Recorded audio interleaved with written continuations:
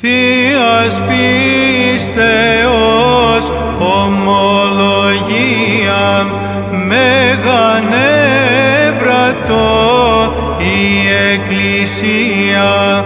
Ζηλωτήν σε Θείε μάρ και πανέφημε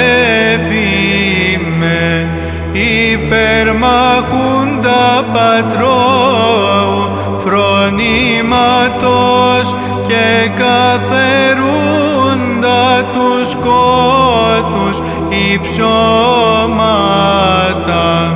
όθεν αφέσιν Χριστόν των Θεών οικέτευε δωρήσαστε ημίν της εγερερούση.